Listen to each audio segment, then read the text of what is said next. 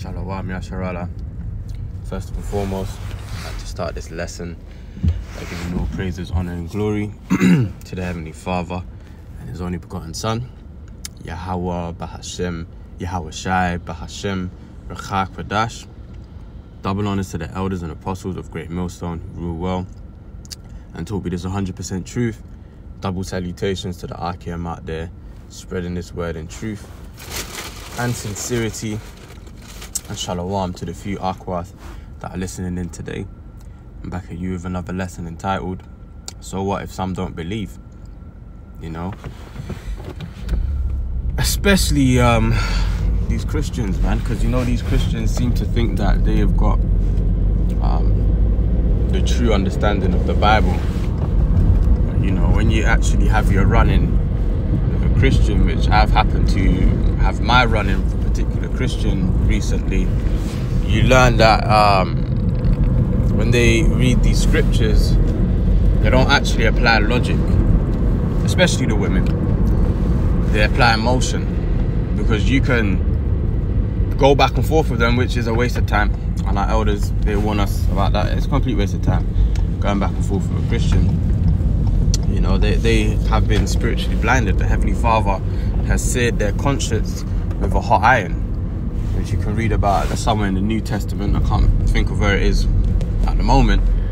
But um, you you know, you can bring out the precepts, break it down, you know, and they, they will still find a way to, to, to, to somehow dismiss it. And it's like, wait, hold on a second, but but you claim to be a Christian and, and, and you believe in God and you believe in the Bible, but then when you bring things in the, out of the Bible that necess- that don't necessarily gel with them, all of a sudden they, they, they dismiss it. Well, how, how can you say you believe in the Bible then? If when things that are being brought out of the Bible, you you are um you, you're um, um fighting against it. You know, for example, I had this Christian talking about how there isn't going to be any division amongst the household and stuff, and I was like, wait, whoa, whoa, whoa, whoa, hold on a second. I was like, but but but but then that means you're going against prophecy. I said you're going against prophecy. I said read Matthew 10 and 34 verse uh, Matthew 10 34 on down. You know where uh, Yahweh Shai speaking says that think not I'm come to bring peace on the earth, but rather a sword. And then it goes on to talk about how he's going to set at variance a mother against the daughter, father against the son, so on and so forth. And a man's foes shall be there of his own household. So I I wait. But but you know that the, the Christian wouldn't even let me bring out the precept. Is that all of a sudden they just want to run out the conversation. The moment you, hit them up with the facts, and it's just like, look, over here at Great Millstone, through the spirit and power of Yahweh Bashem Yahshua, I say this humbly, but we have the 100% truth, okay? And you know, truth aside, like, you know, Bible aside, right? What do you notice about the truth in, in, in any other situation? Okay, the truth hurts. People don't like to hear the truth. Well, when it comes to the Bible, why is it going to be any different? Why is it going to be any different? No one likes to hear the truth. And that's not going to change just because it's the scriptures. It's going to be the same thing. Yahweh Shai, he, he, he, he was rejected by the vast majority. So how, how can you follow a doctrine that the vast majority accept and, and claim that's the truth when Yahweh Shai, when he walked on this earth, he was rejected by most? It doesn't make sense. But you see, once again, these these Christians, they um they don't they don't um they don't use logic. You know they they think with their emotions. And and and you know when it comes to the scriptures you have to think logically. You can't use your emotions man. Otherwise it will never make sense. You won't get the true understanding of what the scriptures is trying to say to you. All right? So let's go over here and let's start book of romans.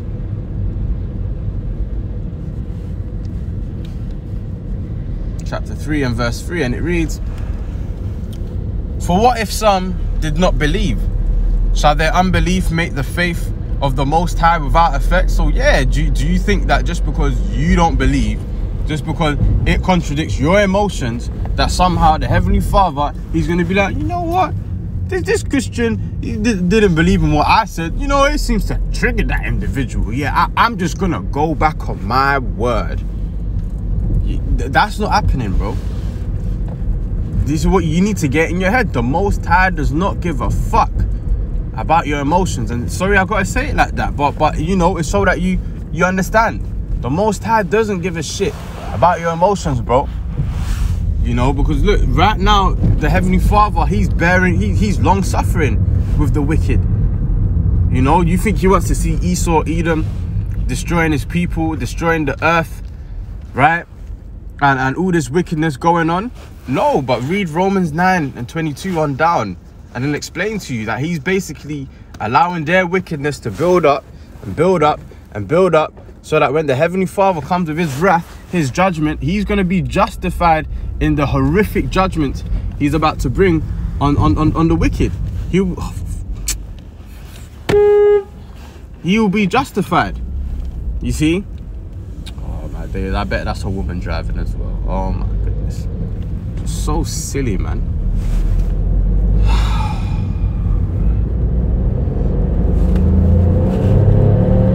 so lucky. You know, so he will be completely justified in the judgment that he's going to bring upon the wicked people, man. So he's letting their their wickedness build up, build up. He's letting that tab just build up, right?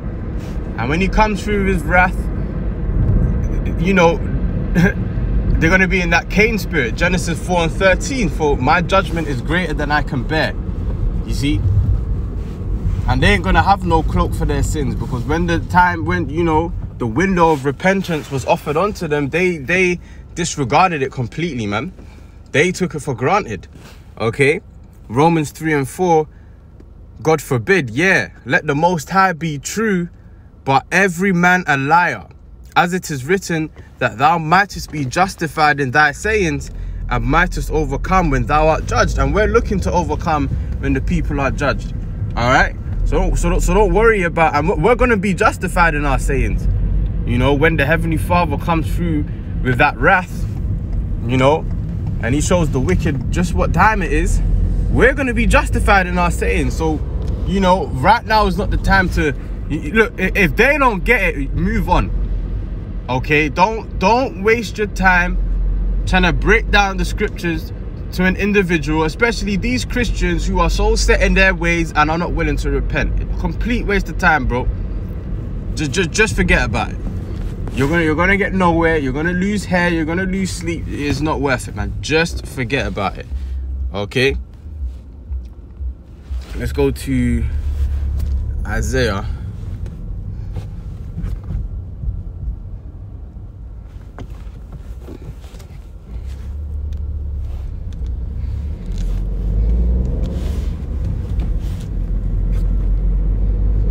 Isaiah 55 and 11.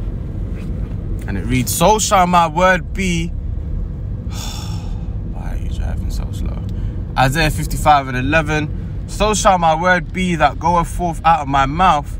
It shall not return unto me void, but it shall accomplish that which I please, and it shall prosper in the thing whereto I sent it. Okay? So the Heavenly Father's word is not going to return unto him void. If he says that the Edomites are going into captivity, they're going into captivity. If he says that two-thirds of the nation of Israel will die on this side and will have horrific judgment, then that's exactly what's going to happen. It doesn't, just because your emotional mind or your Christian belief contradicts that, it doesn't mean that all of a sudden that it's not going to happen, bro. You can't claim that you follow God and that you follow the Bible, but then when the when the facts of the Bible is being brought out, you're you're you're, you're rejecting it. You're denying it. Bro, what does that mean? Clearly, you don't believe. And the thing is, the more you, and the more deeper you get in the scriptures, the more you understand the will of the heavenly Father, the more you understand why He wants to bring down this horrific judgment, man. Because the fear of the Lord has completely vanished from this place. You know, why do you think the world is in such a state of perpetual wickedness? It's because no one fears the Lord. You know, they, they think that the Lord is just some massive teddy bear, some passive power that's just, you know, do what thou wilt, do whatever the hell you want. All you got to do is call on Jesus Christ, accept him in your heart as your, as your Lord and Savior, and you could go back to just being a wicked nigga in the world, and he's and he's still gonna save you, man. No, bro. See, th this world has got the complete wrong idea of the Heavenly Father, and that is the reason why He's going to come through with that sort of destruction to, to, to instill that fear back in you.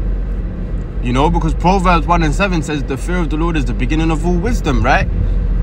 But fools despise knowledge, roughly paraphrasing. So that's the reason why the Heavenly Father, Yahweh Bashim Shai, is going to come through with that horrific judgment, man. You see? So that that fear of the Lord can be instilled back in you, man. Which is which is lost right now. It's no longer there. Okay? And you know, you you Christians that are so set in your ways and don't want to see the light and claim that you have the, the true understanding of the Bible, well, you know what? all I can say to you is only time will tell, bro. Only time will tell. When that MOTB is unveiled and, and, and, and you're talking about you ain't gonna get it and Jesus Christ is gonna save you, right? And then and then you have no you, you can't eat, you can't do you can't drink, you know, the, the miracles ain't working in your favor, then you'll know that you've been deceived all along.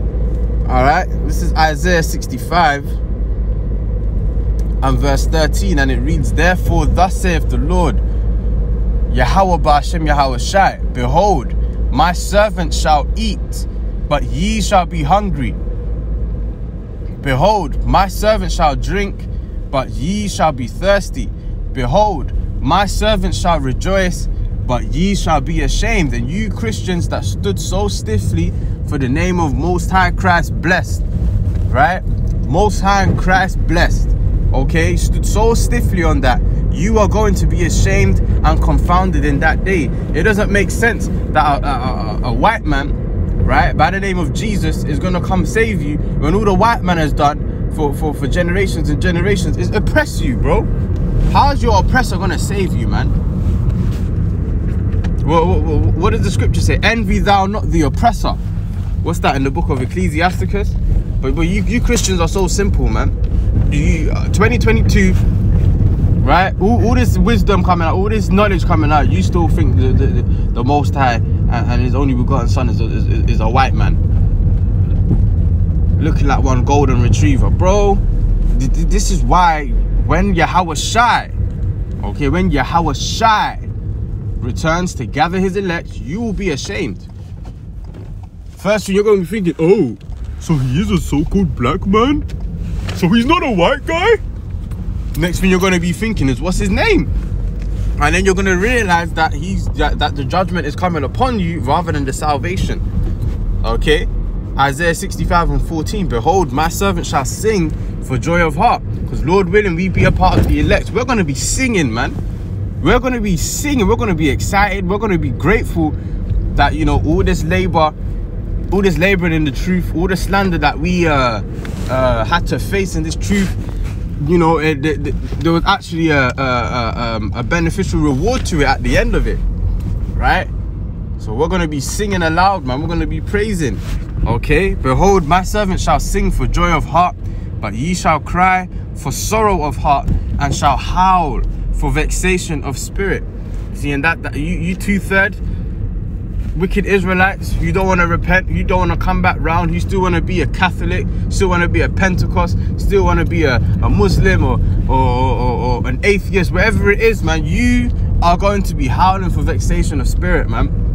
When you realize that you had it wrong all along and you you you you uh, um, disregarded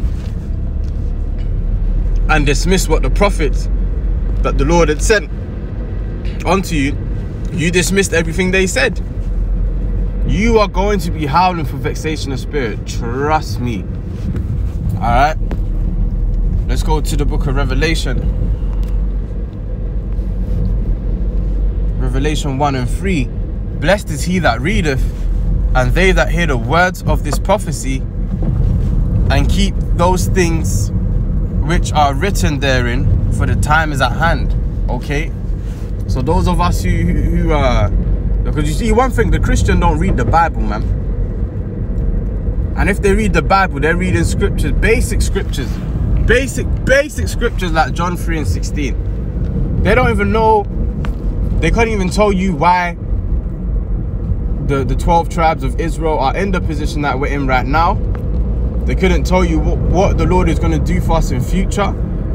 You know, they'd be teaching bullshit like you can't have sex in the kingdom of heaven. So how the hell are we going to be fruitful and multiply? You know, what, what, what else What else did they come up with? They come up with, um, ah, and it just left my mind. Um, um, you know, they, they, they, they don't even know that that hardcore slavery that we served right? Where we were scattered across the four corners of the earth. They don't even know that that's written in the scriptures. And that was prophecy. And that ultimately we went through that because um because we transgress the law, statutes, and commandments of the Heavenly Father. They don't understand that. So yeah, they, they just claim that they believe in God, but they, they don't read. Because if you did read and you, you, you applied logic rather than emotion, you would understand the will of Yahweh Ba'ashem Yahushai. Okay? Talking about oh, there ain't gonna be no division amongst the household. But that's one of the signs, one of the prophecies that we're in the last days. And then you try and bring it out and, and, and then they're running away.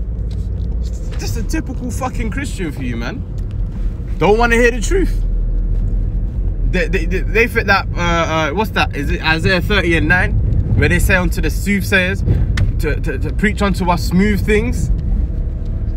You know, they, they don't want to hear the harsh truth. It's too it's too raw for them. They don't want to hear it, man. But but okay, that that that will be to your own demise. And my mileage right now is showing me 777. Kal halayim la how Shai. Seven represents the number of completion, man. Alright, we're, we're almost out of here, man. We, we, we just gotta endure. Right, through the spirit and power of your Yahweh Shai, Lord willing, He puts the spirit on us to endure until the end, man. Okay, so one more time. Revelation 1 and 3. Blessed is he that readeth, and they that hear the words of this prophecy, uh, and keep those things which are written therein, for the time is at hand. The time is at hand. Now is not the time to be to be being sluggish, man. Now is the time to seek Yahweh Hashem Shai with all your heart, man. Because time is short. Okay? Make no tarrying to turn to the Lord. Sirach 5 and 7. Okay? Wisdom of Solomon 5 and 2. We we're to close out here. And it reads, When they see it, they shall be troubled with terrible fear and shall be amazed at the strangeness of his salvation so far beyond all that they have looked for. And, and, and that's going to be two-thirds of you wicked Israelites and um, and um, uh, um, the, the heathen nations when they see the salvation of the elect. Verse 3, And they repenting and groaning for anguish of spirit, say within themselves, This was he whom we had sometimes in derision and a proverb of reproach. We fools accounted his life madness and his end to be without honor. You know, the world genuinely thinks that, oh, we're, we're crazy. We're just some niggas with Bibles. We don't know what the hell we're talking about. We're just Bible bashers, wasting our time. Okay. Verse 5 How is he numbered amongst the children of the Most High and his lot is among the saints? They're going to be like, how him? Him? He's the elect. He's the one receiving spiritual power. He's the one that's being beamed up into those chariots. Him? Verse 6 Therefore, this is what they're going to be saying to themselves, those that didn't believe. Therefore, have we erred from the way of truth, and the light of righteousness have not shined unto us, and the sun of righteousness rose not upon us. Okay, so look, man, it doesn't matter whether these people believe or not because at the end of the day they're gonna have to give account thereof for every vain word that they speak matthew 12 and 36 all right so so let let look let the blind lead the blind man job 12 and 16 says wisdom and strength are his uh um and you know uh the roughly paraphrasing the deceived and the deceiver are his all right so the lord he he has those who he wants to deliver, who he will give the truth, and he has those who he wants to deceive, who will be destroyed. Okay?